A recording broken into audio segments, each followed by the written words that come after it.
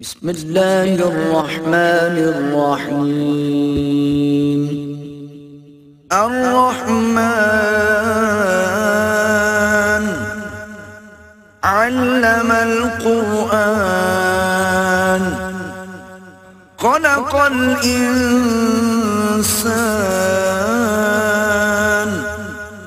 علمه البيان. الحمد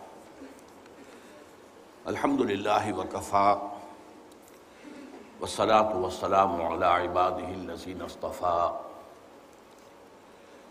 خصوصاً على افضلهم وخاتم النبیین محمد الامین وعلى آلہ وصحبہ اجمعین اما بعد فاعوذ باللہ من الشیطان الرجیم بسم اللہ الرحمن الرحیم الرحمن علم القرآن خلق الانسان علمه البیان صدق اللہ العظیم رب اشرح لی صدری ویسر لی امری واحلل عقدۃ من لسانی یفقهوا قولی اللهم ربنا الہمنا رشدنا واعذنا من شرور انفسنا اللهم ارنا الحق حقا وارزقنا اتباعه وارنا الباطل باطلا وارزقنا اجتنابه. اللهم ارحمنا بالقرآن اللهم ارحمنا بالقرآن العظيم واجعله لنا إماما ونورا وهدى ورحمة. اللهم ذكرنا منه ما نسينا وعلمنا منه ما جهلنا وارزقنا تلاوته آناء الليل وآناء النهار. واجعله لنا حجة يا رب العالمين. آمين. میرا آج کا خطاب اصلاً تو قرآن کے علم اور دین کے فہم کی تحصیل اور اسے دوسروں تک پہنچانے کی فضیلت کے موضوع پر بارہ احادیث کے درس پر مشتمل ہے. لیکن میں نے یہ سورہ رحمان کی چار آیات جو تلاوت کی ہیں، انہیں آپ تبرکن بھی سمجھ لیجیے کہ خطاب کا آغاز جو ہے، وہ تلاوت آیات قرآنیہ سے ہو رہا ہو۔ مزید برآں یہ کہ جو میرے درس حدیث میں آج اولین اور اہم ترین حدیث آ رہی ہے، اس کا بڑا گہرا معنوی تعلق سورہ رحمان کی ان ابتدائی چار آیات سے ہے۔ سورہ رحمان کی ابتدائی چار آیات پر میرے مفصل خطابات اس سے پہلے موجود ہیں۔ ریکارڈڈ بھی ہیں، تفصیلی۔ اس وقت صرف چند اشارے کروں گا۔ یہ آیات جو چار ہیں، ان میں چار چوٹی کی چیزوں کا ذکر ہے۔ یعنی ان چیزوں کا انتخاب میرے نزدیک اس بنیاد پر ہوا ہے کہ ہر اعتبار سے جو سب سے چوٹی کی چیز ہو، اس کا ذکر آئے۔ الرحمن اللہ کے ناموں میں سے ایک نام ہے۔ لیکن سب سے پیارا نام ہے اور سب سے اہم نام ہے اس اعتبار سے کہ ہمیں سب سے زیادہ ضرورت اللہ کی رحمت کی ہے۔ اللہ خالق ہے، یہ اس کا کام ہے، اس نے خلق کیا ہے۔ ہماری کوئی غرض تو نہیں تھی۔ ہماری کوئی درخواست تو نہیں تھی۔ اس نے تخلیق فرمایا وہ ہمارا امتحان لینا چاہتا ہے تو رب بھی ہے، وہ ہماری ضروریات بہم پہنچاتا ہے جب تک اس دنیا میں رکھنا چاہتا ہے۔ ہمیں جو اصل ضرورت ہے اس کی رحمت کی ہے۔ اس لیے کہ جو ابدی زندگی ہے، آخری زندگی اور ابدی زندگی، اس میں خیر کا، بھلائی کا، روحن و ریحان اس کا دار و مدار جو ہے وہ اللہ تعالیٰ کی رحمت پر ہے۔ چنانچہ حضور نے ایک مرتبہ فرمایا کہ کوئی انسان محض اپنے عمل کی بنیاد پر جنت میں داخل نہیں ہو سکے گا جب تک کہ رحمت خداوندی دستگیری نہ کرے۔ اس پر کسی صحابی نے بڑی ہمت سے کام لیا اور ہمیں ان کا ممنون ہونا چاہیے۔ اگر وہ نہ کرتے یہ ہمت تو جواب ہمیں کیسے ملتا؟ جب سوال آیا تو جواب آیا۔ کیا حضور آپ بھی؟ کیونکہ سٹیٹمنٹ بڑا کیٹیگوریکل تھا۔ کوئی انسان داخل نہیں ہو سکتا جنت میں جب تک کہ رحمت خداوندی دستگیری نہ کرے۔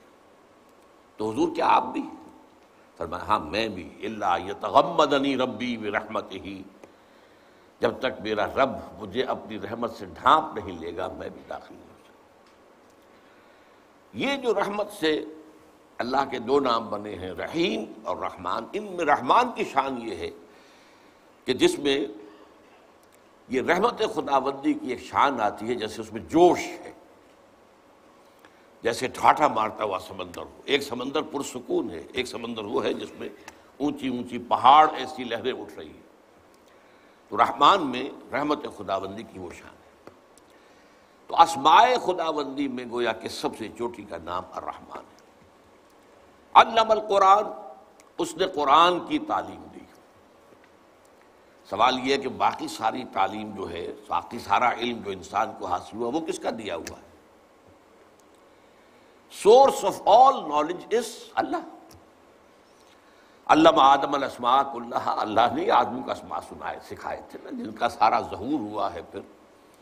یہ جو انسانی علم ہے ایکوائرڈ نالج جو انسان نے حاصل کیا ہے، یہ سائنس اور ٹیکنالوجی کی ساری ترقی ہے انہیں اسماء، علم الاسماء کا جو ہے ظہور ہے۔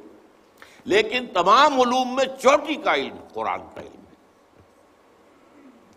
خلق الانسان، پھر دیکھیے تھرڈ سٹیٹمنٹ انسان کو پیدا کیا۔ تو صرف انسان کو تو نہیں پیدا کیا، ملائکہ کو نہیں کیا۔ اب بظاہر تو وہ سب سے اونچی مخلوق ہیں جو نور سے پیدا کیے گئے۔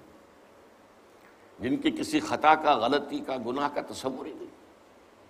جنات کو نہیں پیدا کیا۔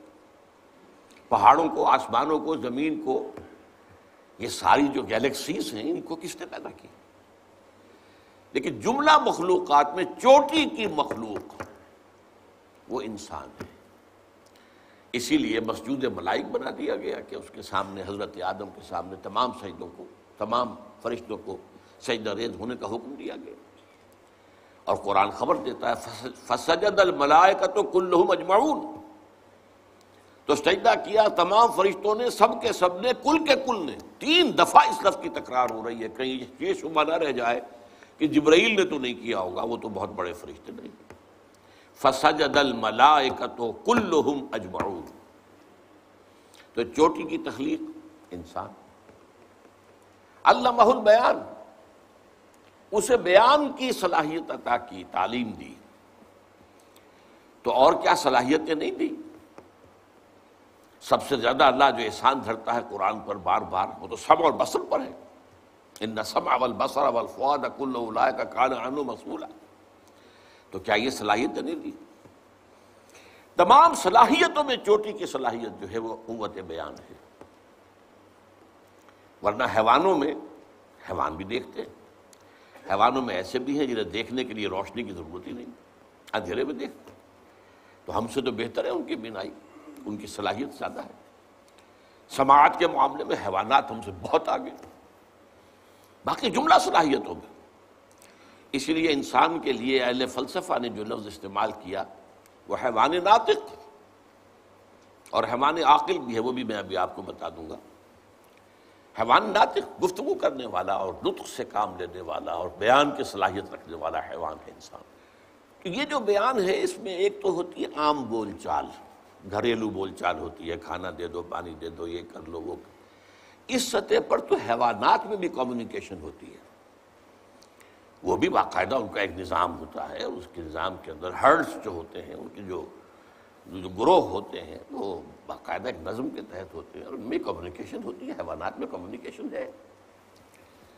لیکن اس سے اوپر کی کمیونیکیشن ایک وہ ہوتی ہے کہ کسی کے کلام کا فہم حاصل کیا جائے۔ اور پھر اپنی بات کو بیان کیا جائے۔ یہ صلاحیت جو ہے، یہ انسان میں چوٹی پر ہے اور انسان کو جتنی صلاحیتیں دی ہیں اللہ نے، ان میں سب سے چوٹی کی صلاحیت ہے۔ ہم نے پڑھا سائنس میں، میڈیسن کی تعلیم کے دوران میں، دماغ میں کئی لیولز ہیں اس کے برین کے، ہیومن برین کے، جو ہائیسٹ لیول ہے۔ اس میں پھر ایریاز ہیں۔ یہاں پر پیچھے ہے وہ ایریا جس میں کہ آنکھ جو کچھ دیکھتی ہے یہاں سے تو صرف تصویر بنتی ہے انٹرپریٹ یہاں ہوتا ہے کہ یہ کیا دیکھا تم نے، اس کا مطلب کیا ہے۔ تو آنکھ نے، کیمرے نے تو تصویر جو ہے وہ پیچھے بھیج دی اللہ اللہ حسن لیکن یہ کہ دماغ کے مختلف ایریاز ہیں جو پھر ان کو انٹرپریٹ کرتے ہیں، اس سے نتیجہ اخذ کرتے ہیں۔ تو سب سے بڑے سینٹرز جو ہیں وہ سپیچ سینٹر کہلاتے ہیں۔ سپیچ بیان، تقریر۔ اور اس کے دو حصے ہیں سینسری اور موٹر ایک حصہ وہ ہے کہ کسی کے کلام کو جو آپ تک پہنچا ہو، آپ سمجھ سکیں، اس کی گہرائی میں اتر سکیں۔ جس کے لیے پھر لفظ تعویل آتا ہے۔ نہ صرف یہ کہ تفسیر، بلکہ تعویل۔ تفسیر میں کیا ہوتا ہے؟ مختلف الفاظ کے معنی یہ ہیں، یہ گرامر یہ ہے، یہ وہ ہے، یہ تفسیر ہے۔ اور اس کا اصل مفہوم یہ ہے۔ اس کو اس کے اصل مفہوم کی طرف لوٹا دینے کی صلاحیت، یہ تعویل کہلاتی تو دوسروں کے کلام کا فہم اور اس کا، اس کی تعویل یہ ایک حصہ ہے، اسی ایک صلاحیت کا۔ اور پھر اپنا کلام اور جو کچھ ذہن میں آیا ہے، اس کو مرتب اور بہت صحیح انداز میں مجتمع کر کے اس کو بیان کرنا، یہ اس کا ووٹر پارٹ ہے۔ یہ دونوں جو چیزیں ہیں، یہ انسانی صلاحیتوں میں ٹاپ کی۔ ہیں اب دیکھیے، یہ جو چار چیزیں آئیں، ان میں میں نے صرف ابھی تک بیان کیا ہے کہ ان میں، ان کے انتخاب کی بنیاد کیا ہے کہ اپنے اپنے میدان میں یہ چاروں چیزیں ٹاپ کی ہیں۔ لیکن ایک ایک بار سے غور کیجیے، تو یہ چار چیزیں اور چار آیتیں ہیں، لیکن جملے تین ہیں۔ الرحمن و علم القرآن ایک جملہ ہے۔ خلق الانسان مکمل جملہ ہے۔ علامہ البیان مکمل جملہ ہے۔ ان تین جملے کے حوالے سے آپ نے میٹرک میں بھی پھر اور بھی سطح پر پڑھا ہوگا۔ ریشو پروپورشن میتھمیٹکس کے اندر ارتھمیٹک کے اندر پڑھا ہم نے۔ نسبت و تناسب کا قاعدہ۔ تین ویلیوز دی ہیں، چوتھی تلاش کرو۔ اب یہ تین ویلیوز آ گئی الرحمن و علم القرآن، ایک۔ خلق الانسان، دو۔ علامہ البیان، تین۔ چوتھی۔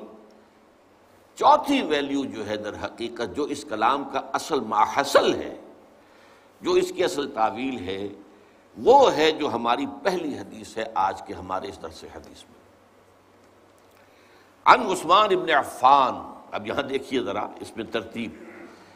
وہ ردم جو ہے، وہ بھی برقرار ہے ناموں کے اعتبار سے بھی۔ الرحمن، علم القرآن، خلق الانسان، علمہ البیان۔ ان عثمان ابن عفان رضی اللہ تعالی عنہ۔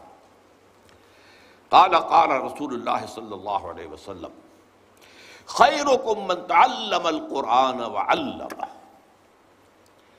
تم میں سے بہترین لوگ وہ ہیں جو قرآن سیکھتے ہیں اور سکھاتے ہیں۔ یا تم میں سے بہترین لوگ وہ ہیں جنہوں نے قرآن سیکھا اور سکھایا۔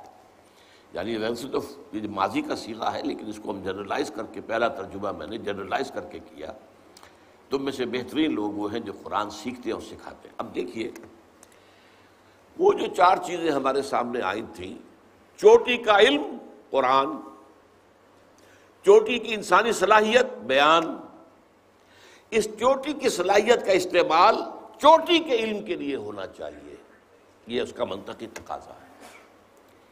یہ بیان میں نے جیسا کہ عرض کیا، جو کہ اللہ نے انسان کو صلاحیت دی ہے، یہ گھریلو بھی ہے، گفتگو کرتے ہیں، آپ آپس میں۔ عام وہ تو حیوانات کے اندر بھی موجود ہے، پوری طریقے سے۔ لیکن وہ جو اصل چوٹی کی بات ہے کہ انسان کسی کے کلام کو سمجھے، اس کی تہ میں اترے، اس کی تعویل کرے، صحیح مفہوم تک رسائی حاصل کرے اور پھر اس کو بیان کرے۔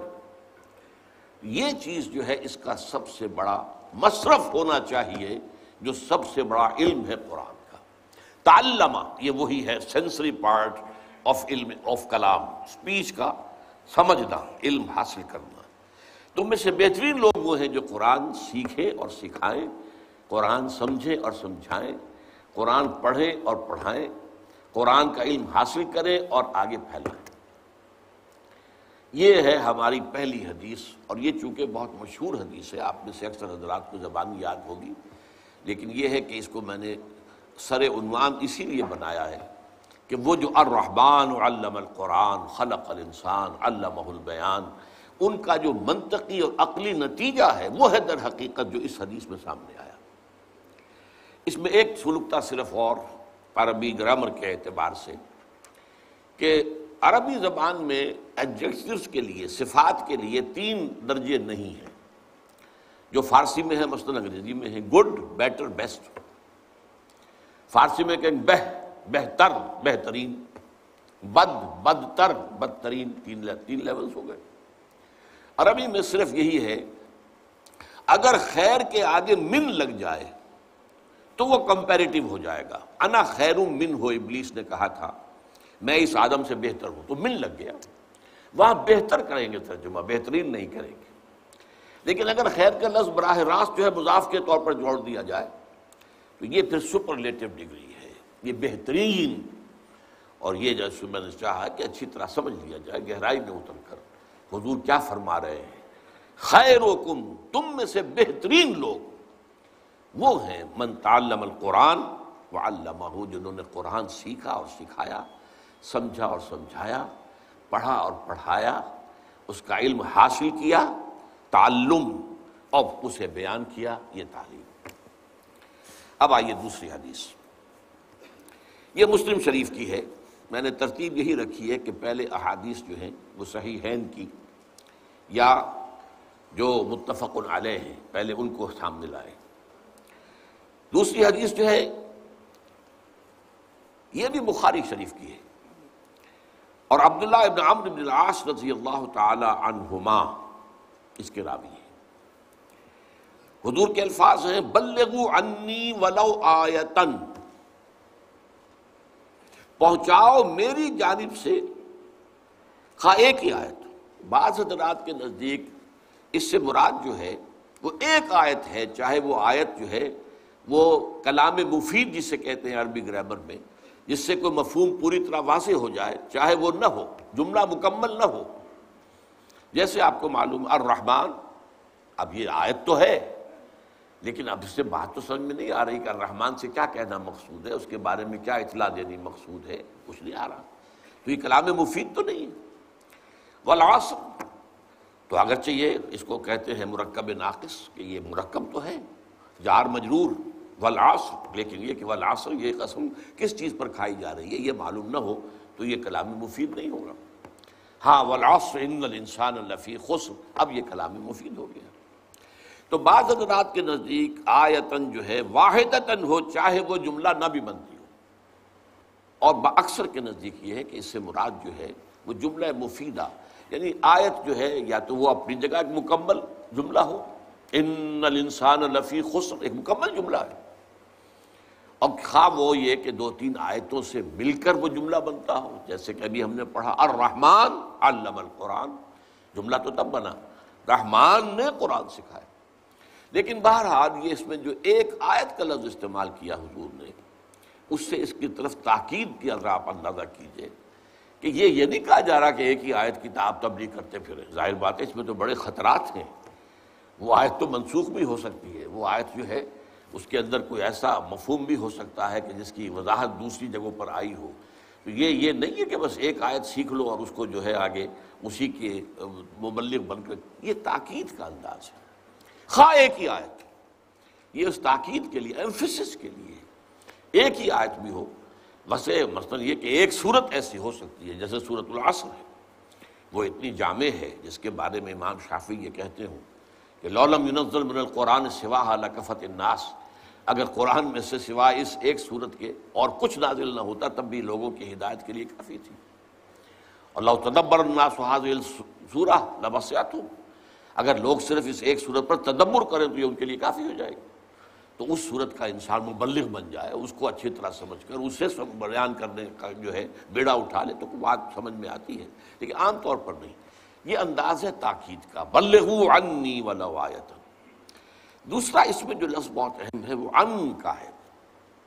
انی اسی لیے میں اس کا ترجمہ کرتا ہوں میری جانب سے آن مائی بہاف اس کی وجہ کیا ہے؟ کہ حضور کی بیست ہے پوری نو انسانی تک۔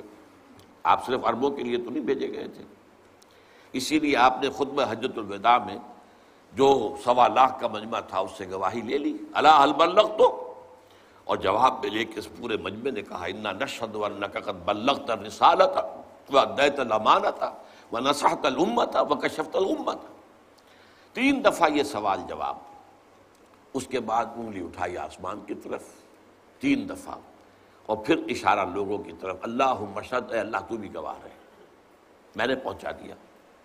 اب آخری جملہ کیا تھا؟ فل یبلغ شاہد الغائبہ اب لازم ہے ان پر جو یہاں ہیں کہ پہنچائیں ان کو جو یہاں نہیں۔ اور جو یہاں نہیں ہیں، اتنے بلیغ الفاظ ہیں۔ اس میں جو لوگ اس وقت دنیا میں موجود تھے اور وہاں نہیں تھے، وہ بھی سب شامل ہو گئے۔ چاہے وہ چین میں آباد ہوں، چاہے وہ روس میں آباد ہوں، چاہے وہ امریکہ میں ہوں، چاہے وہ کہیں بھی ہوں، تمہارے ذمے ہے اب ان تک پہنچانا۔ اور قیامت تک آنے والے انسان بھی شامل ہو گئے۔ کیونکہ آپ کی رسالت جو ہے وہ تو قیامت تک جاری ہے۔ اور پوری نوع انسانی کے لیے آپ پھر رسول بنا کر بھیجیں گے تو بلغو انی میری آن مائی بہاف میری جانب سے پہنچاؤ۔ یعنی میرا کوئی امتی اگر یہ کام کر رہا ہے تو وہ گویا کہ میرے فرض منصبی کی ادائیگی میں میری مدد کر رہا ہے۔ یہ جو لفظ آتا ہے قرآن میں، یا الذین آمنوا کونوا انصار اللہ کما قال عیسی ابن مریم للحواریین من انصاری اللہ۔ تو مدد کرنا، اور یہ سورہ عراف کی آیت میں بھی آیا ہے، فالذین آمنوا به وعزروه ونصروه نصروه ہمارے اس رسول کی جو مدد کرے تو یہ مدد ہے۔ آپ کا مشن ہے تمام انسانوں تک قرآن کا پہنچا دینا۔ جو اس میں حصہ دے رہا ہے، وہ گویا کہ آپ کا اس معلوم میں مددگار ہے، معاون ہے، آپ کا ساتھی ہے، آپ کا رفیق ہے۔ بلغو انی ولو آیتن۔ اب آئیے تیسری حدیث جو ہے۔ یہ ہے مسلم شریف سے اور حضرت ابو حریرہ رضی اللہ تعالیٰ عنہ اس کے راوی ہے حضور نے فرمایا، من سلک طریقا یلتمس بہی علما، سہل اللہ بہی طریقا الجنہ۔ جس شخص نے بھی کوئی سفر اختیار کیا تاکہ علم حاصل کرے، تو اللہ تعالیٰ اس کے توفیل، اس کے لیے جنت کا ایک راستہ آسان کر دے گا۔ یعنی آدمی جو ہے، پچھلے زمانے میں تو آپ کو معلوم ہے، کوئی کالجز اور یونیورسٹیز تو تھی نہیں۔ معلوم ہوا کہ فلاں جگہ بسرا شہر میں کوئی بہت بڑے عالم ہے، قرآن کے اب ایک شخص ہے، وہ میل کا سفر طے کر کے وہاں جا رہا ہے۔ یا فلاں جگہ پر دمشق میں کوئی صحابی ابھی ہیں جو کوئی حدیث روایت کرتے ہیں براہ راست۔ ہم تک تو روایت وہ آئی ہے دو تین لنکس کے ساتھ۔ براہ راست جو ہیں وہ اس کو سننے کے لیے لمبا سفر کیا وہاں گئے ہیں۔ تو یہ سفر کیا کرتے تھے لوگ اور آپ اپنے بڑے بزرگوں کے حالات میں یہی پڑھتے ہیں۔ پہلے وہاں گئے، وہاں سے علم حاصل کیا، پھر وہاں سے وہاں گئے، وہاں علم حاصل کیا، پھر وہاں سے وہاں گئے۔ اس لیے کہ سینٹرز آف ایکسلنس جو ہیں وہ مختلف جگہوں پر تھے۔ کہیں پر کوئی بہت بڑا محدث بیٹھا ہوا ہے، تو کہیں پر کوئی بڑا مفسر بیٹھا ہوا ہے، کہیں پر کوئی فلسفی بیٹھا ہوا ہے، کوئی علم کلام کا ماہر بیٹھا ہوا ہے، کوئی علم الرجال کا ماہر کہیں بیٹھا ہوا ہے۔ تو مختلف جگہوں سے جا کر جو ہے وہ تحصیل علم کرتے تھے۔ تو من صلاح کا طریقن یلتمس و بہی علم فی ہے علم اب یہاں پر جو اگلی دو آیتیں ہم پڑھ چکے، دو حدیثیں علم کا مفہوم معین ہو جانا چاہیے کہ یہاں پر مراد علم قرآن ہے، اصل علم۔ اس لیے کہ اس اسی حدیث میں جو ہم پڑھ رہے ہیں، یہ بات واضح ہو جائے گی۔ سہل اللہ بہی طریقن الجنت۔ اب سنیے، نقشہ کھینچا ہے۔ وہ مجتما قوم فی بیت وَمَجْتَمَعَ قَوْمٌ فِي بَيْتٍ مِّن بُيُوتِ اللَّهِ يَتْلُونَ كِتَابَ اللَّهِ وَيَتَدَارَسُونَهُ بَيْنَهُمْ۔ إِلَّا نَزَلَتْ عَلَيْهِمُ السَّكِينَةُ وَغَشِيَتْهُمُ الرَّحْمَةُ وَحَفَّتْهُمُ الْمَلَائِكَةُ وَذَكَرَهُمُ اللَّهُ فِي مَنْ عِنْدِهِ۔ اور نہیں جمع ہوتے کچھ لوگ اللہ کے گھروں میں سے کسی گھر میں، اللہ کی کتاب کی تلاوت کے لیے اور اس کو باہم ایک دوسرے سے سمجھنے کے لیے۔ مگر یہ کہ اللہ ان کے اوپر نازل فرما دیتا ہے سکینت اور رحمت ان کو ڈھانپ لیتی ہے اور فرشتے ان کے گرد گھیرا ڈال لیتے ہیں اور اللہ تعالیٰ ان کا ذکر کرتا ہے۔ ملائکہ میں فیمن اندہو، اس کے جو پاس ہے ملائکہ مقربین، ملائکہ بھی عام نہیں، جو اس کے پاس ہے ملائکہ مقربین، ملائے اعلیٰ۔ فخر کے ساتھ کہتا دیکھو میرے بندے، تم نے کہا تھا نا کہ یہ انسان، اس کو تو پیدا کر رہا ہے، تو فساد مچائے گا، ٹھیک ہے، تمہاری اس بات بھی غلط نہیں ہے۔ لیکن دیکھو میرے وہ بندے بھی تو ہیں نا انہیں میں سے، وہ بنی آدمی کوئی اور غرض تو ان کی نہیں ہے، کوئی اور مطلب نہیں ہے ان کا۔ کوئی اور مقصود نہیں ہے، کسی اور مفاد دنیا کے لیے جمع نہیں ہوئے اور یہاں میرے گھروں میں سے، کسی گھر میں سے مراد اول تو ہوگا مساجد۔ لیکن یہ کہ علماء کا اس پر تقریباً اجماع ہے کہ اس سے مراد کوئی بھی جگہ ہو سکتی ہے، سب گھر اللہ کے ہیں۔ کسی بھی جگہ پر جہاں پر آدمی اس کے لیے جمع ہو کہ یتلون کتاب اللہ ہے اللہ کی کتابت کی تلاوت وہ یتدار سود ہوں اب اس میں ذرا فرق ہے۔ ہمارے ہاں جو درس ہوتا ہے اس کے اندر یک طرفہ معاملہ چل رہا ہوتا ہے۔ مدرس جو ہے بیان کر رہا ہے اور سامع جو ہے وہ سن رہے ہیں۔ ایک ہوتا ہے مذاکرہ آپس میں۔ جمع ہو گیا جس کو کہ اسٹڈی سرکل کا عنوان دیا جاتا ہے۔ چنانچہ میں نے جب لاہور منتقل ہوا ہوں جب انیس سو پینسٹھ میں، تو پہلے میں نے جو حلقے قائم کیے، ان کے لیے نام درس عنوان کا نہیں رکھا تھا، بلکہ حلقہ ہائے مطالعہ قرآن، قرآنک اسٹڈی سرکلز۔ تو اس کے اندر یہ ہے کہ ایک دوسرے سے بات کو سمجھنا سمجھنا اور سمجھانا، تدارس باب تفاعل کے اندر آ گیا یہ اس میں مشارکت ہوتی ہے، لوگوں کی سب کی شرکت ہوتی ہے اور یہی بہترین طریقہ ہوتا ہے سیکھنے اور سکھانے کا۔ اگرچہ حالات کے تقاضے کے تحت جو ہے وہ ہمارا مونولاگ کے انداز میں ایک آدمی کی گفتگو کے ذریعے سے بھی بہرحال بات پھیلتی ہے۔ تو فرمایا کہ نہیں جمع ہوتے، میرے گھروں میں سے کسی گھر میں میرے کچھ بندے میری کتاب پڑھنے اور آپس میں ایک دوسرے کے سمجھنے اور سمجھانے کے لیے، مگر یہ کہ ان پر سکینت نازل ہوتی ہے۔ یہ قلب مطمئنہ، سکینت، سکون، غشیت عمر رحمہ اور رحمت ان کو ڈھانپ لیتی ہے۔ وحفت عمر ملائے کا اور فرشتے ان کے گرد گھیرا ڈال لیتے ہیں۔ وہ ذکر اللہ فی بنندہ اور اللہ ذکر کرتا ہے ان کا، ان لوگوں، ان میں ان کے سامنے جو اس کے پاس ہے، اپنے فرشتوں کے سامنے اللہ تعالیٰ ذکر فرماتا ہے۔ آپ اس پر خوشی منائیے اور فسٹ شروع آج ہمارا ذکر بھی اللہ تعالیٰ اس اپنی ملۂ اعلیٰ کی محفل میں، خدا خود میر محفل بود اندر لامکاں خسرو، ایک ہے نا محفل۔ وہ ہمارے لیے لامکاں ہے لیکن وہ ایک خاص مکان ہے۔ جہاں اللہ تعالیٰ جو ہے، اس کا عرش ہے، اس کے ارد گرد جو ہے حولہ جو ہے، اس فرشتے۔ تو اس محفل میں ذکر۔ وہ اللہ تعالیٰ کی طرف سے خوشخبری کی سب سے بڑی بات ہے۔ چوتھی حدیث، یہ بھی مسلم شریف کی ہے۔ ان ابی حرارت رضی اللہ تعالیٰ عنہ، اذا مات الانسان انقطع عمله عمله الا من ثلاث. جب کسی انسان کی موت واقع ہو جاتی ہے، تو اس کا عمل منقطع ہو جاتا ہے سوائے تین چیزوں کے۔ ظاہر بات ہے کہ یہ جو مہلت عمل ہے، وہ تو ہماری زندگی کے اندر ہے یہ تو تین گھنٹے کا امتحان نہیں تو تیس برس کا امتحان سمجھ لیجیے، ساٹھ برس کا امتحان سمجھ لیجیے۔ لیکن یہ کہ جب تین گھنٹے پورے ہوتے ہیں تو پھر اعلان ہوتا ہے سٹاپ رائٹنگ بات وقت ختم ہو گیا۔ تو موت کے ساتھ وقت ختم ہو گیا۔ لیکن اس کے بعد بھی ان تین چیزوں کے اعتبار سے انسان کے لیے اجر و ثواب کا جو کھاتا ہے کھلا رہتا۔ من سلاس صدقت جاریت کچھ صدقہ جاریہ ہو، کوئی ایسا کام کیا ہے لوگوں کی بہبود کے لیے پرانے زمانے میں سرائے ہوتی تھی، سرائے بنا دی ہے، مسافر آئیں، آرام کریں۔ کنویں کھدوا دیے ہیں، کہیں پر پل بنوا دیا ہے۔ یہ مختلف جو ہے، مسجد بنا دی ہے۔ لوگ جو ہے آئے، اللہ کا ذکر کریں۔ علم ينتفع به نمبر دو، وہ علم کے جس کے ذریعے سے نفع حاصل کیا جا رہا ہو۔ یعنی اس نے اپنی زندگی میں جو علم پھیلایا تھا، اب وہ علم تو آگے پھیلے گا۔ اس کے شاگرد آگے پھیلائیں گے، ان کے شاگرد اس سے آگے پھیلائیں گے۔ جہاں تک یہ سلسلہ جاری رہے گا، جس نے اس کا آغاز کیا تھا، اس کے اللہ تعالیٰ کے ہاں جو کھاتے کھلے ہوئے ہیں، ان میں اس کا ثواب کا اندراج ہوتا جائے۔ یہ مسلسل جاری رہے گا۔ صدقہ جاریہ، جن سے لوگوں کو فائدہ پہنچتا ہو، وہ علم جس سے انتفاع نہ نفع ہو سکے۔ اور ولد ان صالح لہو یا پھر اس کی اولاد، صالح اولاد، نیک اولاد۔ نیک اولاد سب سے بڑا صدقہ جاریہ ہے۔ تو یہ صدقہ جاریہ پھر وہ اس کے لیے دعائیں بھی کریں گے، ان کی مغفرت کے لیے دعائیں کرے گی، اولاد جو ہوگی نیک ہوگی، جو نیک نہیں ہے وہ بھول جائیں گے، کون ہمارا باپ تھا، کون ہماری ماں تھی، کیا ان کے احسانات ہم پر تھے۔ لیکن جو ولد صالح ہوگا، ظاہر بات ہے کہ وہ تو دعا کرے گا۔ پانچویں حدیث مسلم ان ابی حریر رضی اللہ تعالی عنہ۔ الناس معادن کمعادن الزہب والفضت خیارہم فی الجاہلیت خیارہم فی الاسلام، اذا فقہو. یہاں اس حدیث کو میں خاص طور پر اس لیے لایا ہوں کہ ایک لفظ جو ہے، تفقہ، فقہ، اس کو آپ سمجھ سکیں۔ قرآن کے علم کے لیے علم کا لفظ بھی ہے، قرآن کے علم کے لیے حکمت کا لفظ بھی ہے، قرآن کے علم کے لیے خیر کا علم بھی ہے، قرآن کے علم کے لیے حکمت کا لفظ بھی ہے اور تفقع کا لفظ بھی ہے۔ تو یہ تمام چیزیں جو ہیں وہ اس علم کے اور اس فہم کے مختلف پہلوؤں کو واضح کرنے والی ہیں۔ حضور فرماتے ہیں کہ لوگوں کی مثال معدنیات کی سی ہے۔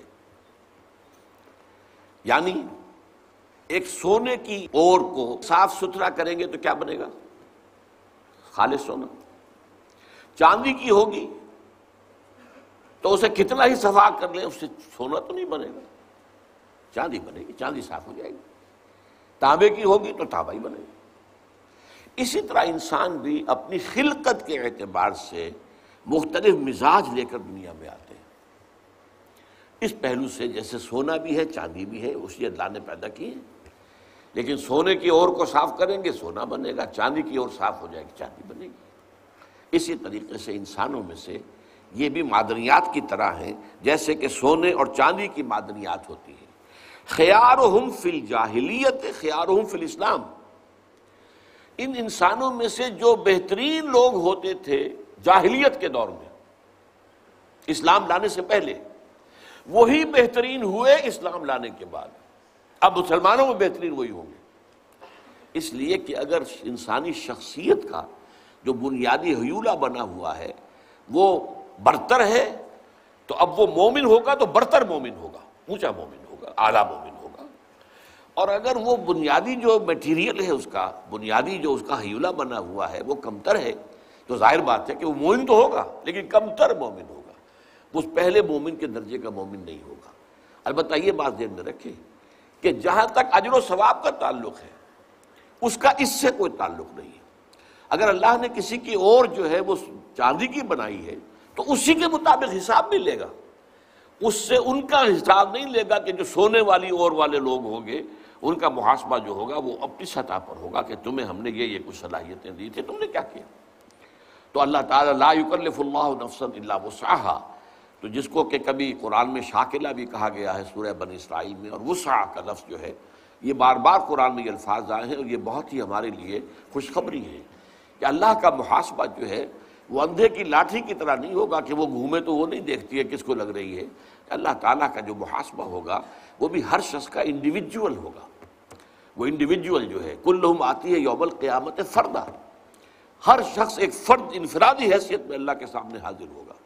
اور اسے اللہ نے جو کچھ دیا تھا، اس کے حساب سے اس کا محاسبہ ہوگا۔ اس لیے وہ آگ اخروی حساب کے اعتبار سے یہ نہ سمجھے کہ تو ناانصافی ہو جائے گی پھر۔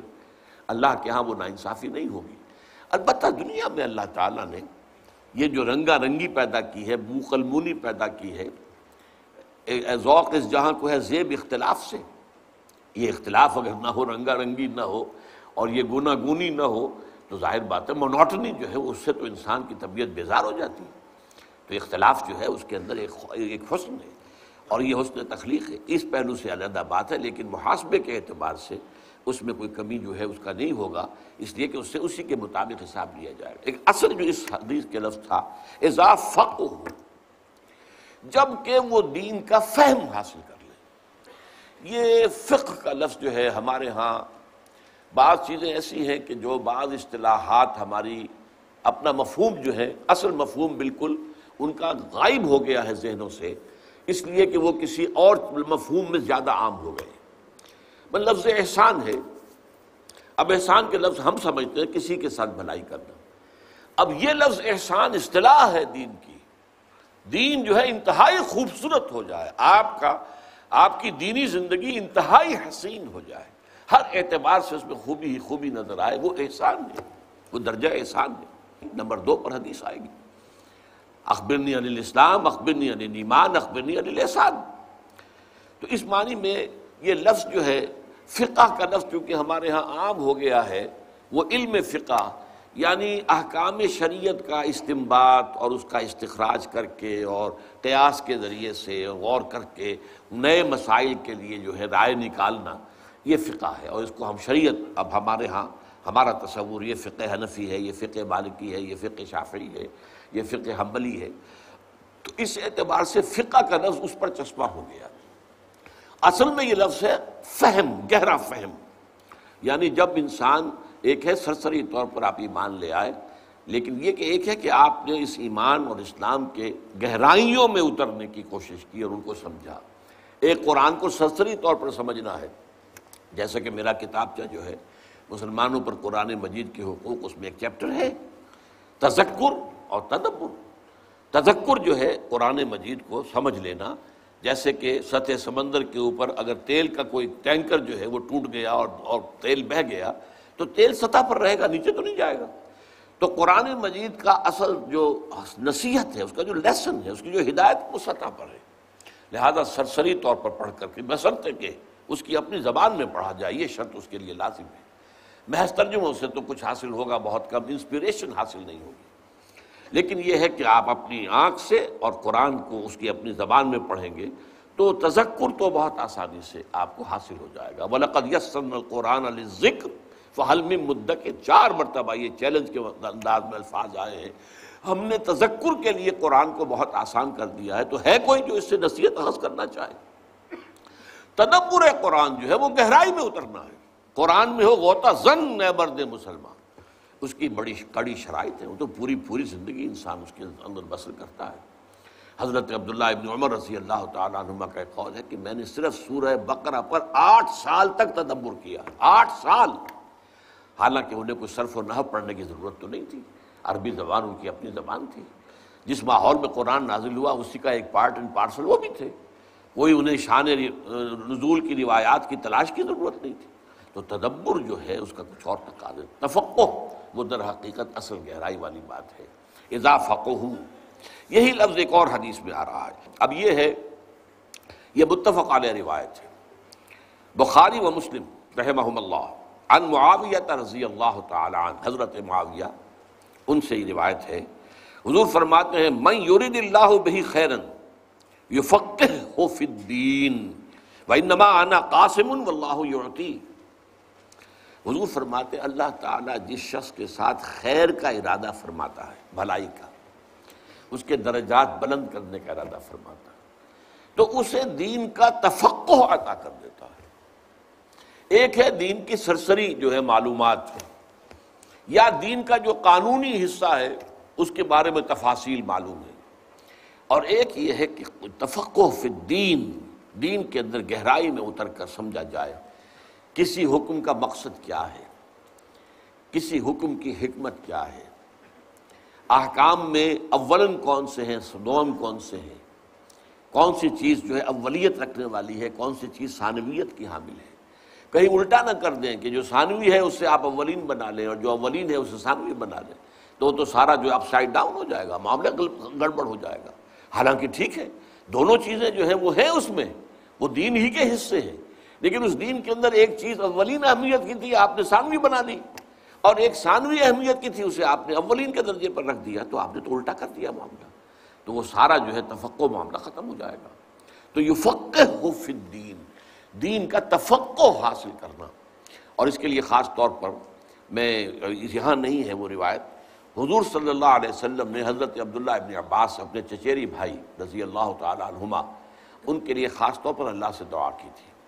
اللہم فقہ ہو فی الدین وعلمہ التعویل۔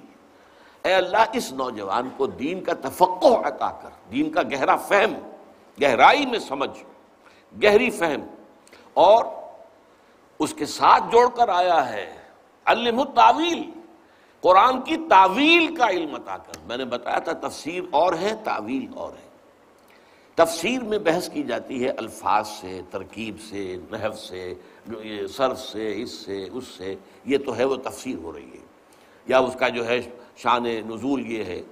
ایک ہے اس کلام کے فہم کو اس کے اصل مدلول تک پہنچانا۔ اصل اس میں مقصود کیا ہے؟ کیا بات کہنی جو ہے مطلوب ہے؟ اس تک پہنچا دینا۔ تعویل کے معنی اول کیا ہے؟ لوٹانا۔ تو اسی معنی میں کسی چیز کو لوٹا دینا اس کے اصل کی طرف، اس کے اصل مفہوم کی طرف یہ تعویل ہے۔ تو در حقیقت تفقع فی الدین اور تعویل قرآن یہ دونوں ایک ایک ساتھ جڑے ہوئے ہیں۔ ان دونوں کا گہرا تعلق ہے۔ اسی لیے حضور نے دعا میں ان دونوں چیزوں کو شامل کیا۔ اللہم فقہ فی الدین وعلم التعویل۔ اب آئیے ساتویں حدیث۔ یہ بھی متفق علیہ۔ ہے بخاری و مسلم عن ابی مسعود، اب ابن مسعود رضی اللہ تعالی عنہ، عبداللہ ابن مسعود۔ لا حسد الا فسنتین حضور فرماتے ہیں کہ کوئی حسد نہیں ہونا چاہیے، مگر دو اشخاص کے بارے میں۔ اب یہاں پہ لفظ حسد جو آیا ہے، وہ در حقیقت اس عام معنی میں نہیں آیا ہے۔ تو اصل میں یہ ہے کہ جس میں رشک جسے ہم اردو میں کہ رشک، فلاں کو فلاں پر رشک آیا۔ ایک ہے فلاں کو فلاں سے حسد ہوا۔ یہ حسد ایک منفی شے ہے۔ کسی میں کوئی خیر یا خوبی دیکھی، اب اس کو یہ ہو کہ یہ اس سے سلب ہو جائے اور مجھے مل جائے۔ یہ حسد ہے۔ ایک یہ ہے کہ اللہ تو نے اس کو یہ خیر دیا، مجھے بھی عطا کر۔ یہ رشک ہے اور اس کے اندر کوئی برائی نہیں ہے، یہ اچھائی ہے، ٹھیک ہے۔ بھلے لوگوں کو دیکھ کر، اچھے لوگوں کی، اچھائیوں کو دیکھ کر، اس سے اپنے اندر بھی ایک آرزو اور تمنا کا ابھرنا اور اس کے لیے پھر اللہ سے دعا کرنا، تو نے اپنے اس بندے کو یہ توفیق دی ہے، مجھے بھی توفیق عطا کر۔ تو اس اس معنی میں رشک کے معنی میں یہ لفظ یہاں آیا ہے کہ دو اشخاص کے سوا کسی اور کے ساتھ رشک نہیں کرنا چاہیے۔ رجولن آتا اللہ مالن فصلت حلقت ہی ایک ایسا شخص جسے اللہ نے مال دیا ہے وافر اور پھر اسے مسلط کر دیا ہے اس کو خرچ کرنے پر۔ وہ مال کو سینت سینت کر نہیں رکھتا، خرچ کرتا ہے، خیر میں فی الحق، حق کے اندر خرچ کرتا ہے۔ حق میں ادائے حقوق بھی آ گیا جو بھی رشتہ داروں کے حقوق ہیں، جو بھی اللہ تعالیٰ نے جس کے حقوق رکھے ہیں، والدین کے حقوق ہیں، اولاد کے بھی حقوق ہیں، ان میں بھی اولاد سے بھی انسان بخل نہ کرے۔ اگر اللہ نے آپ کو اچھی حیثیت دی ہے تو اولاد کا کبھی حق ہے کہ ان کو اس میں سے ملے۔ اس معنی میں اور پھر یہ ہے کہ اللہ کے دین کے لیے، دین حق کے لیے، خیر کے لیے، بھلائی کے لیے خرچ کرنا۔ تو ایسا شخص جو ہے اس پر رشک آنا چاہیے۔ وہ رجولن آتا اللہ الحکمت اب وہ لفظ آ گیا دوسرا جو میں چاہتا تھا کہ انٹروڈیوس حکمت۔ یہ قرآن مجید کے علم کے وہ دوسرا لیول ہے، گہرا تفقع اور حکمت۔ اور تعویل، جس کے لیے میں نے آپ کو تین الفاظ جو ہیں، وہ خاص طور پر چاہا ہے کہ ان سے واقفت ہو جائے۔ تو یہاں پر اللہ جس شخص کو اللہ نے حکمت عطا کی ہو، فہو یکزی بہا و تو وہ اسی کے ذریعے سے اسی کی بنیاد پر فیصلے بھی کرتا ہو اور اسی پر عمل کرتا اور اسی کو پھیلاتا بھی ہو، سکھاتا بھی ہو، دوسروں کو تعلیم بھی دیتا ہو۔ اللہ تعالیٰ اللہ ربنا جعلنا منہم۔ ایک حدیث جو ہے، اب یہ جو بقیہ احادیث ہیں، یہ یہ بخاری اور مسلم سے نچلے درجے کے جو مجموعے ہیں، دوسرے درجے کی کتابیں، حدیث کی مجموعے جو ہیں ان میں سے ہیں۔ دارمی، تبرانی، خطیب انل حسن مرسلت حسن بصری رحمۃ اللہ علیہ، یہ تابعین میں سے ہے اور یہ روایت کر رہے ہیں، حضور سے تو اسے کہتے ہیں روایت مرسل۔ حالانکہ کسی صحابی سے سنا ہوگا، صحابی کا نام نہیں لیا ہے۔ لیکن یہ حدیث جو ہے وہ بڑی پیاری ہے۔ من جاہ الموت وہ یتلب العلم۔ جس شخص کو موت آئے اس حال میں کہ وہ علم کے حصول میں لگا ہوا تھا۔ لیکن مقصد کیا تھا؟ لے یا بہل اسلام تاکہ وہ اس کے ذریعے سے اسلام کو زندہ کرے۔ یہ مقصد ہونا چاہیے۔ تعلیم و تعلم قرآن کا بھی مقصد یہ ہو کہ اسلام کو زندہ کرنا ہے۔ ظاہر بات ہے کہ اسلام تو مرا نہیں ہے، زندہ ہے۔ ہماری نسبت اس سے مر گئی ہے۔ ہم اس کے ساتھ صحیح معنی میں متعلق نہیں ہیں، جڑے ہوئے نہیں ہیں۔ اور پورا معاشرہ ہمارا اس کے ساتھ جڑا ہوا نہیں ہے۔ اسلام کی یہاں پر حکومت نہیں ہے، اسلام کا نظام نہیں ہے۔ اس نسبت کو دوبارہ زندہ کرنا جو تھی کبھی خلافت راشدہ میں، اس کو دوبارہ زندہ کرنا یہ مقصد ہو علم کے حصول کا، تعلیم و تعلم قرآن کا۔ یہ صرف جو ہے کہ اکیڈمک ایکسرسائز بن کر نہ رہ جائے۔ کہ بس یہ علم کی تحصیل، برائے تحصیل علم، یہ نہیں۔ علم برائے علم نہیں۔ زندگی برائے زندگی نہیں، بلکہ زندگی کسی مقصد کے لیے نصب العین کے لیے، علم کسی مقصد کے لیے، اور وہ علم ہے کس لیے؟ لے یو ہی یا بہل اسلام اس مقصد کے تحت ایک شخص علم کے طلب میں لگا ہوا ہے۔ ابھی وہ فارغ نہیں ہوا ہے، ابھی اسی کام میں لگا ہوا ہے وہ کہ موت آ گئی۔ لیکن اس کا نتیجہ کیا ہے کہ درجہ اس کا کیا ہوگا اللہ کے ہاں؟ فبین و بین النبی نہ درجت الواحد الفی جنہ تو اس کے اور نبیوں کے درمیان جنت میں صرف ایک درجے کا فرق ہوگا۔ یہ ہے بلندی اس کام کے لیے۔ ویسے تو یہ کہ یہ ساری چیزیں ان الفاظ میں بھی آ گئی ہیں۔ خیر و کمن تعلم القرآن و لیکن اس خیر کا معاملہ جو ہے، کس کس پہلو سے اس میں بہتری کے معاملات ہیں؟ کیا اس کا ظہور جو ہے ہوگا انسان کے حق میں؟ اس کے لیے یہ ہے کہ یہ حدیثیں جو ہیں، یہ ہمارے لیے مزید روشنی فراہم کرتی ہیں۔ کہ اس کے اور ان لوگ اور نبیوں کے درمیان ایک درجے کا فرق رہ جائے گا۔ اب تین حدیثیں ایسی آ رہی ہیں جس میں میں پہلے مفہوم بیان کر دوں اس لیے کہ وقت محدود ہو گیا ہے۔ اس میں اصل میں ایک ریشو پروپورشن کا معاملہ آیا ہے۔ عام تصور ہمارا یہ ہے کہ نیکی کا معاملہ ہوگا تو نوافل زیادہ ہو جائیں گے، اذکار ہوں گے، یہ ہوں گے، بیٹھے ہوئے تسبیح کریں گے، فراں فراں کریں گے، یہ۔ اور ایک تصور یہ ہے کہ اپنا وقت لگایا جائے اللہ کے دین کے علم کو حاصل کرنے اور پھیلانے میں۔ پہلی چیز کا رہے گا ہمیشہ ذہنوں کے اندر۔ ہمارے ذہنوں میں بھی جو تصور بیٹھ گیا ہے، صدیوں کا تعامل ہے یہ۔ یہ کوئی دو چار برس کی بات نہیں ہے۔ کہ اصل دین نسل نیکی، اصل جو ہے روحانیت تو تو ان چیزوں میں لیکن حضور جو فرما رہے ہیں کہ تمہاری جو یہ ہے نسبت و تناسب کا جو فہم جو ہے، درست ہو جانا چاہیے۔ یہ پہلی روایت ہے احمد ترمزی ابو داود، ابن ماجہ، دارمی۔ ان حضرت علی ابی دردا ابو دردا رضی اللہ تعالیٰ عنہ، جو فقرائے صحابہ میں سے من صلق طریقن یطلب فی علم، من اللہ بھی طریقن فی طرق الجنہ۔ یہ تو ہم پہلے بھی پڑھ چکے ہیں۔ جو شخص کوئی چلا کسی راستے پر سفر اس نے اختیار کیا علم کے حصول کے لیے، اللہ تعالیٰ اس کے ذریعے سے اس کے لیے جنت کا راستہ آسان کر دیتا ہے، کھول دیتا ہے۔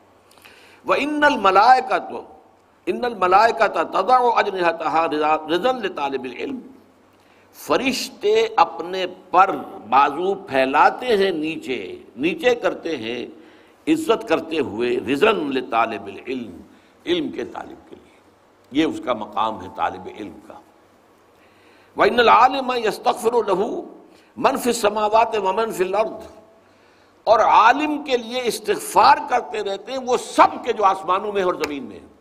لیکن عالم کا وہی تصور رکھیے لَيُحْيِجَ بِهِ الْإِسْلَامِ عالم کا تصور یہ کہ اس میں سب سے چوٹی پر علم قرآن، اور قرآن کا بھی صرف علم جو ہے وہ شریعت والا علم نہیں، بلکہ اس میں جو تفقع اور حکمت اور گہرائی، اس کو، وہ ساری چیزیں سامنے رہیں، تب پھر ان حدیث کا مطلب سمجھ میں آئے گا۔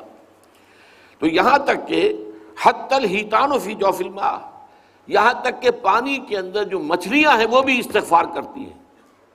وہ ان فضل العالم العابد کا فضل القمر للت البدر اللہ سائر القواقب اور جان لو، فضیلت ایک عالم کی عابد پر، ایک عابد ہے، عبادت گزار ہے۔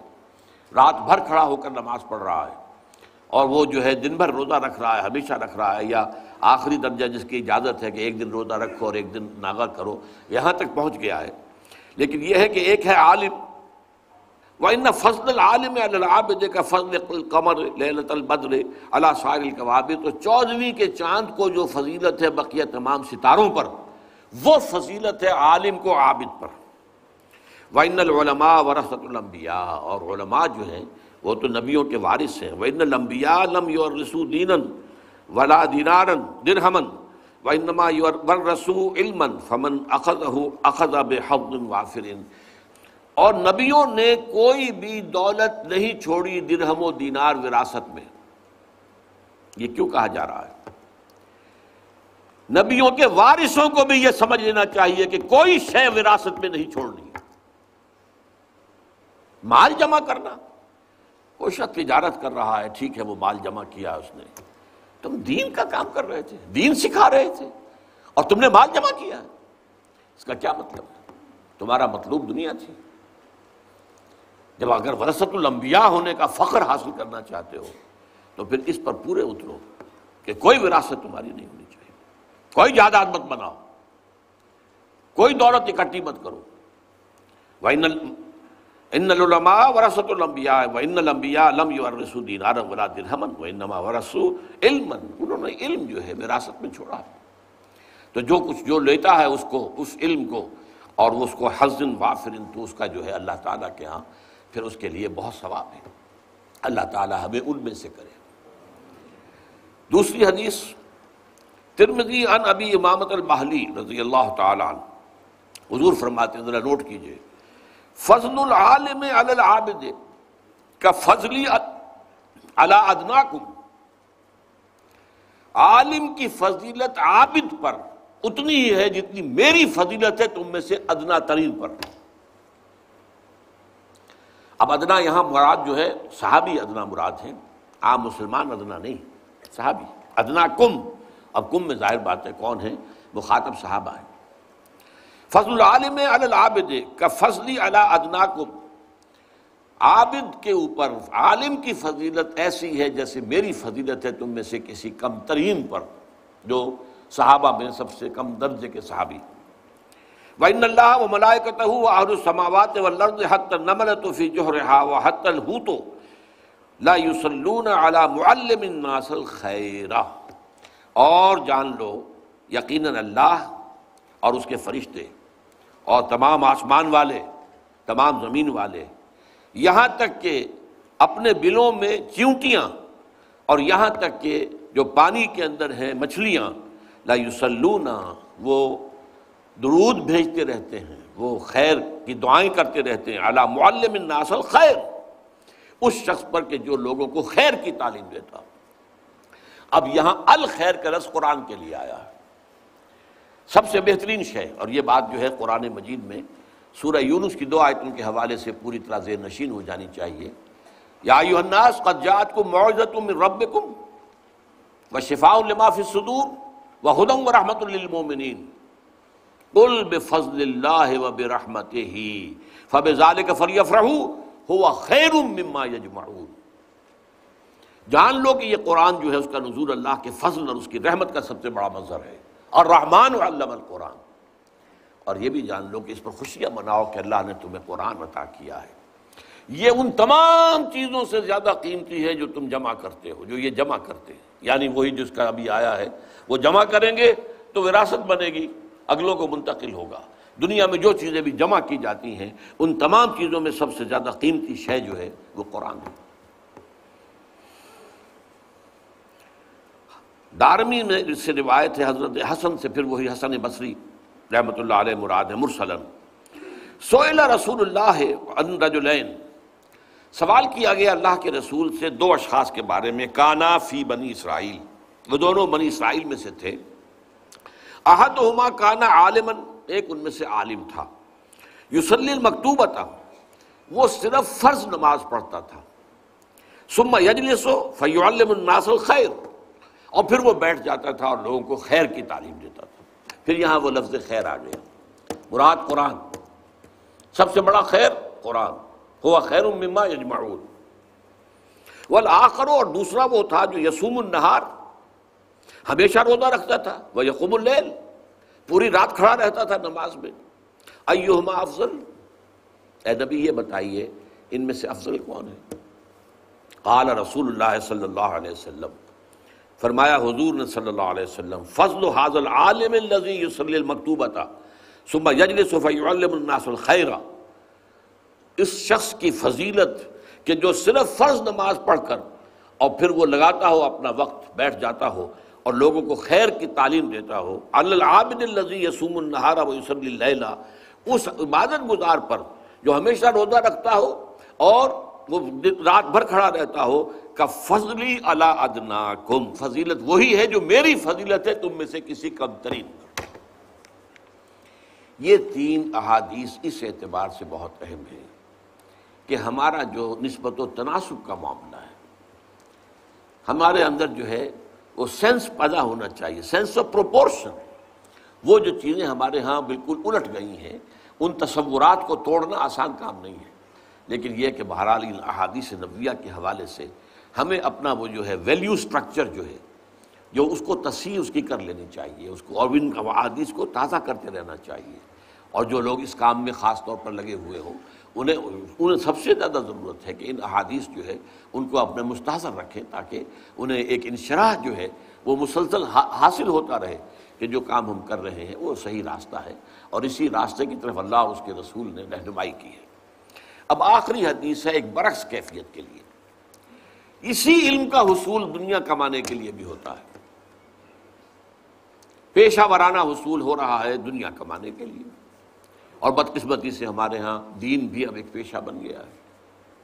اور عام طور پر دینی تعلیم عام طور پر اللہ ماشاء اللہ وہ اسی اعتبار سے ہوتی ہے کہ اس سے ایک بہرحال ایک ذریعہ معاش جو ہے وہ بھی حاصل ہو جائے گا، مسجدوں میں خطابت ہوگی، امامت ہوگی، وغیرہ وغیرہ۔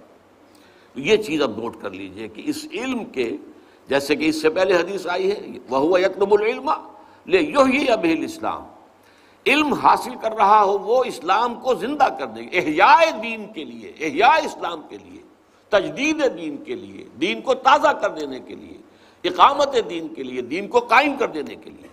اس کے برعکس، من طلب العلم، جس شخص نے علم حاصل کیا، طلب کیا لے یو جاریہ بہل علماء، تاکہ وہ ہم نشین بن جائے علماء کا۔ اب علماء بیٹھے ہوتے ہیں تو آپس میں گفتگو کر رہے ہوتے ہیں تو ان کی اصطلاحات اور ہوتی ہیں۔ عام آدمی بیٹھا ہوا ان کی بات وہ آپس میں جب گفتگو کر رہے نہیں سمجھتے، لیکن وہ اصطلاحات جو گاڑھی، مذہبی، دینی اصطلاحات استعمال کرتے تو میں بھی علماء کی مجلس میں بیٹھنے کے قابل ہو جاؤں۔ میں بھی تاکہ بیٹھوں اور وہی اصطلاحات جو ہیں ان کو سمجھوں بھی اور ان کے اندر میں گفتگو کر سکوں۔ ونے یماریا بے صفحا یا روب گانٹھے بے وقوفوں پر۔ جو بے علم ہیں یا جو لوگ جاہل ہیں یا کم علم ہیں، ان کے اوپر جو ہے وہ اپنا ایک ان کے ساتھ بحث و تمیز کرنے کا، اپنا روب گانٹھے اپنے علم کا اور سکہ جمائے۔ او یسرف بہی وجوہ ناس لے یا اس علم کے ذریعے سے لوگوں کی توجہ اپنی طرف منعطف کرا لے۔ اپنی لیڈری، اپنی چودراہٹ، اپنی سیادت، اپنی قیادت، اس کی طرف لوگوں کو متوجہ کرے اس علم کے ذریعے سے۔ ادخلہ اللہ النار۔ ایسے شخص کو اللہ تعالیٰ یقیناً آگ میں داخل کرے گا۔ تو یہ وارننگ یعنی باقی ساری حدیثیں جو ہیں وہ جہاں اس فضیلت کا ذکر سامنے آیا ہے اور اس کے ضمن میں مختلف اصطلاحات جو آپ کے سامنے آئی ہیں ان کو سمجھنا۔ لیکن یہ کہ یہ وارننگ والی جو ہے آخری حدیث، یہ اس اعتبار سے کہ جو نیت ہے وہ صحیح ہونی چاہیے۔ اس لیے کہ اکثر محدثین نے اپنے جو مجموعے مرتب کیے، ان میں سب سے پہلے وہی حدیث لائے کہ جو حضرت عمر رضی اللہ تعالیٰ عنہ سے مروی ہے، نیت کے بارے میں ان نمل اعمال و بنیات اعمال کا دار و مدار نیتوں پر ہے۔ نیکی کا کام کوئی بڑے سے بڑا ہو، نیت خراب ہے تو اللہ کے ہاں اس کا کوئی وزن نہیں، بلکہ وہ اللہ تعالیٰ کے ہاں شرک میں بھی شمار ہو سکتا ہے۔ جس نے دکھاوے کے لیے، من یورائی فقط اشرکا وہ من ساما یورائی فقط اشرکا وہ من تصدق کا یورائی فقط اشرکا جس نے دکھاوے کے لیے نماز پڑھی، اس نے شرک کیا. جس نے دکھاوے کے لیے روزہ رکھا، اس نے شرک کیا. جس نے دکھاوے کے لیے صدقہ خیرات کیا، اس نے شرک کیا. تو اللہ تعالیٰ جو ہے نم العمال و بنیات تو اس طلب علم کے اندر نیت کا درست ہو جانا بہت ضروری ہے اور اس نیت کے درست ہونے پر دار و مدار ہوگا کہ آیا اس کے ذریعے سے وہ درجہ جنت میں داخل، حاصل ہو جائے گا جو نبیوں، انبیاء سے متصل ہو، یا یہ کہ وہ دنیا کے اندر خزلیل و خار اگر نہ بھی ہوا دنیا میں چاہے وہ کتنا ہی باعزت رہا ہو، آخرت میں ذلیل و خار ہو جائے گا اور جہنم میں جھونک دیا جائے گا۔ اللہ تعالی ہمیں ان تمام احادیث کی جو برکت ہے اور ان کے اندر جو ہمارے لیے سبق ہے اور ہمارے لیے رہنمائی ہے، ان سے بھرپور استفادے کی توفیق عطا فرمائے۔ آمین یا رب العالمین۔ سبحانک اللہم و بحمدک نشہد اللہ الہ الا انت نستغفرک و نتوب الیک.